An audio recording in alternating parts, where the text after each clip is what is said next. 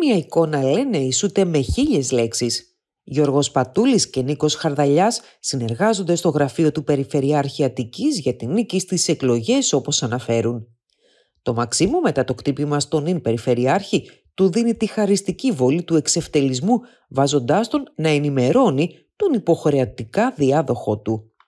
Στη φωτογραφία απεικονίζεται ο νυν Περιφερειάρχης στο γραφείο του μαζί με το νέο υποψήφιο για την Περιφέρεια Αττικής να συνεργάζονται αρμονικά, μελετώντας έγγραφα και να προετοιμάζονται για τη μάχη του Οκτωβρίου.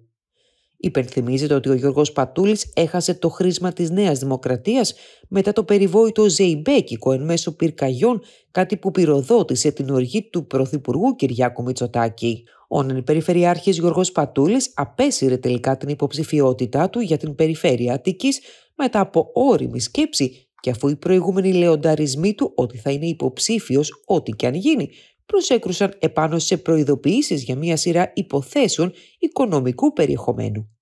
Έτσι, ανακοινώθηκε ότι η Νέα Δημοκρατία στηρίζει τον Νίκο Χαρδαλιά για την περιφέρεια.